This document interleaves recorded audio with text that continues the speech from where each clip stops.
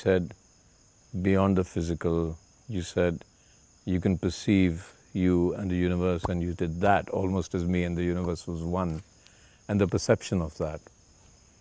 So, most of us can intellectualize the idea of the universe. We can't, and we can't experience it.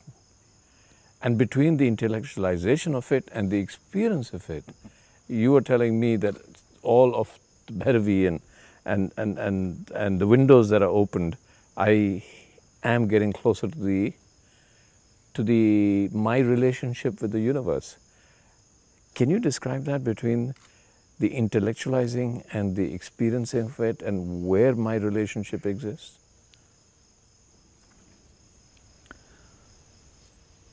See, if you go with a foot scale to measure the depth of the ocean, you will invariably come back and tell me that it's bottomless, because it's impossible for you to measure the depth of the ocean with a foot scale.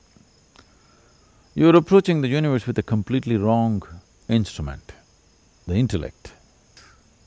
Your intellect itself is an instrument which can only dissect and know things. There is no way your intellect can know anything, perceive anything without dissecting.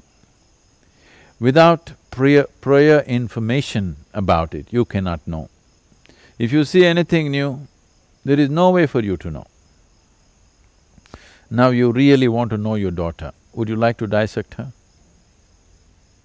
No. no. That's definitely not the way.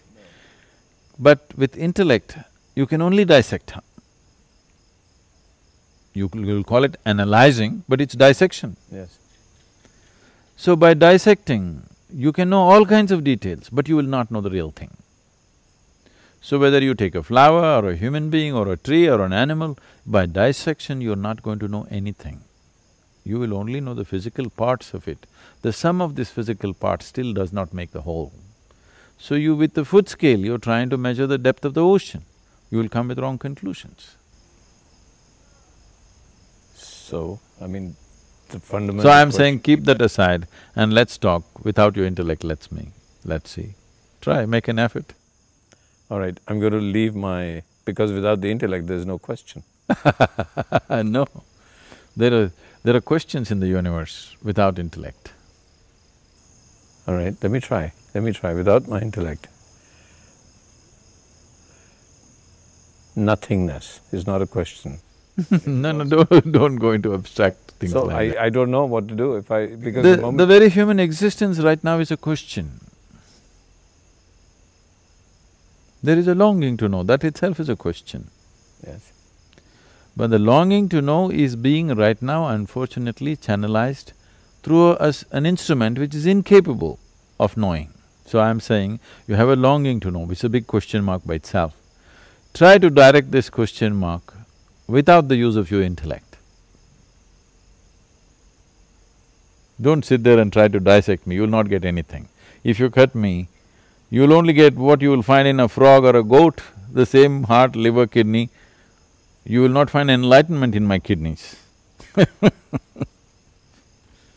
If you want to know this, you must keep that aside and still pursue the question. So you That's what she is. She's the question without the intellect. No, no, I'm saying when you go to her, you have to go with your heart. You can't go with your intellect. If you go with your intellect, what is there? One black form like this? What is this? It's nothing. But you ask people who just walked in, it just hits them. It's an explosion of energy. But if you go there with your intellect, what is there? Simply madness. So is madness wrong? I thought everybody's trying to be sane. Okay, so let's not be sane for a while. Let's be mad. The thing is, uh, human beings are always trying to do mildly insane things because their sanity is so restrictive.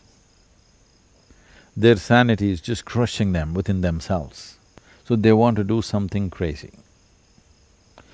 They're not trying to do something crazy, they're trying to break the trap of their own intellect.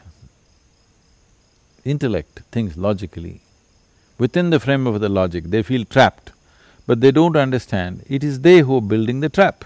Even a spider has the intelligence to build a trap for somebody else, not for himself right. Human beings using their fine instrument of an intellect and building a trap for themselves and they feel trapped in that logic.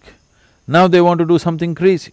Essentially crazy means something illogical, something does that not synchronize with the intellectual process.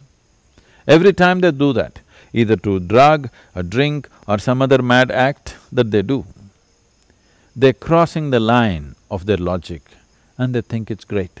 I'm saying, let's do it consciously. You don't have to do any insane risky thing, you can sit here and live that.